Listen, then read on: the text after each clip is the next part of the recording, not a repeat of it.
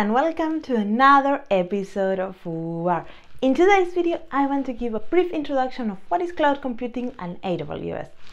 If you're interested in watching more videos about serverless, cloud computing, and other software engineer practices in general, subscribe to my channel in the red button below. I post a video every Tuesday, so let's get started!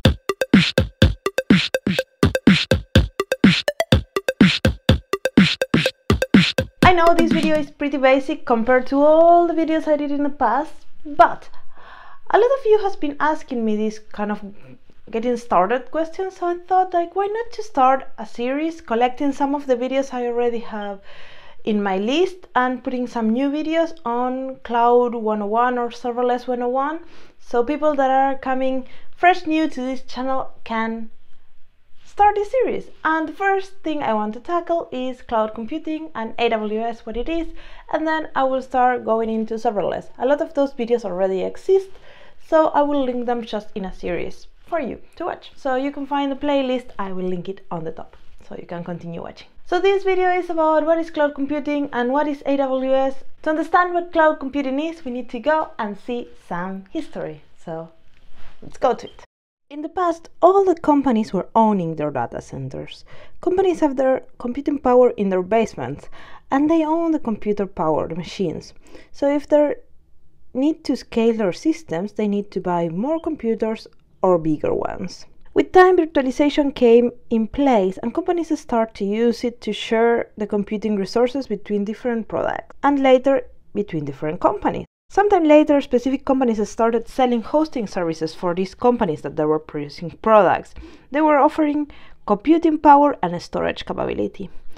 They were offering that these resources were shared between different companies, and those companies were not the owners of these resources. So, if the company needed more computing power, they just need to ask for more computing from their provider, and it will just scale up. This was the birth of the cloud providers.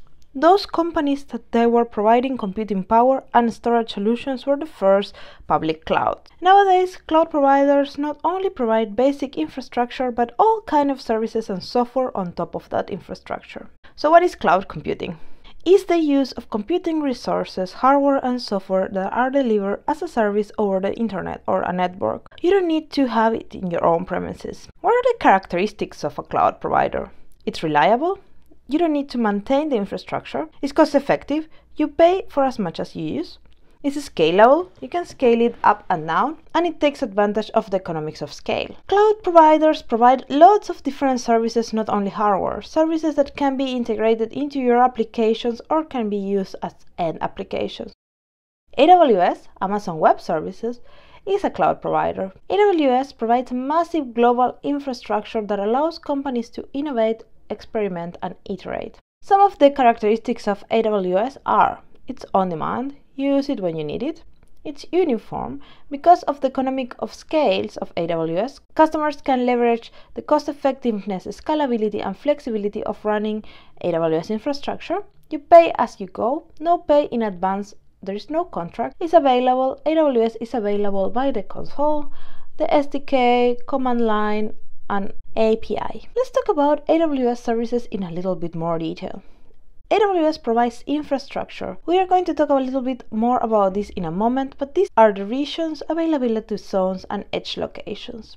Also, it provides what it's called foundation services, that is computing, like EC2s and Lambdas. EC2s are the virtual machines from AWS and Lambdas are the functions as service. It provides some networking capabilities like VPCs, that is a private network that you can build inside AWS and CloudFront, that is the content delivery network from AWS. It provides a storage service like S3, that is a place where you can store files, and they have others different as well. And also admin capabilities and security like your IAM, that is where you create your users, your security roles, and your policies, and CloudWatch, that is place that it has the unified way that you can check logs and monitor dif different services from your AWS. These are the basic services that you can use directly or that the platform will be using.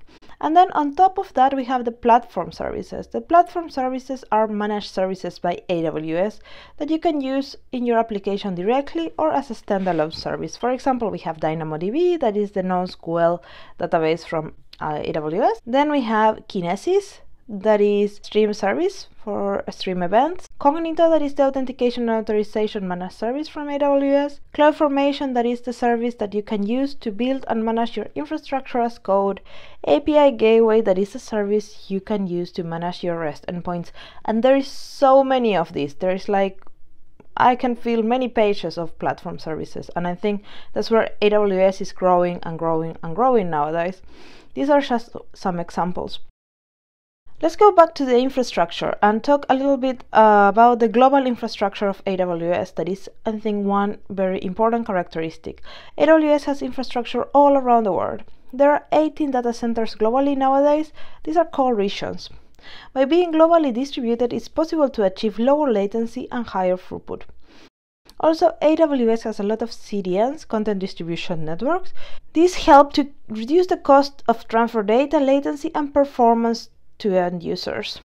So let's go back to what is a region. A region is where the data center is.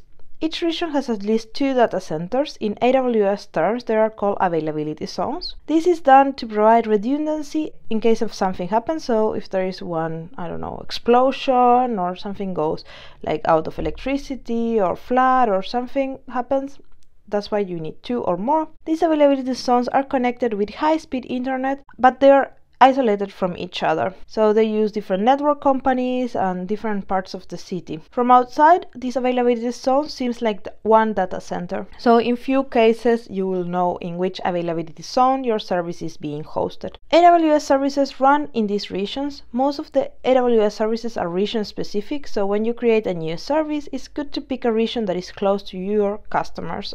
So let's put everything into an example app. Imagine you're building your own Twitter like service the first thing you want to do is to pick a region for all the available regions. You choose Ireland as this, most of your customers will be in Europe. Then you create the web page and place all the statics files in S3 buckets that we use CloudFront as the content distribution network so the files will reach your customers faster. For managing your backend, you choose API Gateway for your endpoints and AWS Lambda for your computing. You also need a database to keep track of users, tweets, and other information of your application. So for that you use DynamoDB. Using users, you need some way to authenticate your users to your system, so for that you use Cognito.